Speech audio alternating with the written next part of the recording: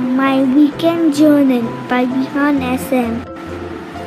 I woke up late as it was a holiday. I had my bath and said my prayers. I had my breakfast. Yummy carrot pulao. After eating, I watched TV. After watching TV, I cycled.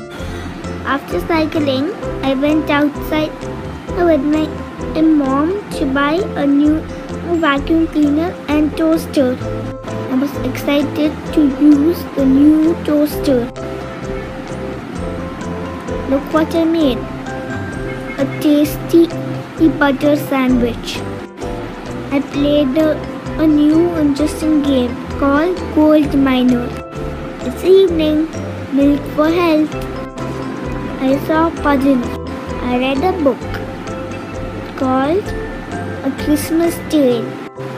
I'm going to sleep. Good night to you.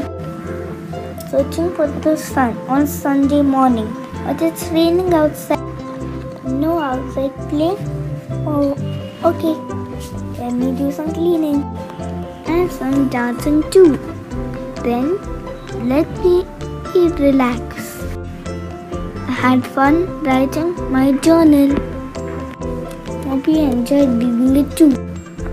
Back to school is cool. We'll write next about my weekdays. See you soon.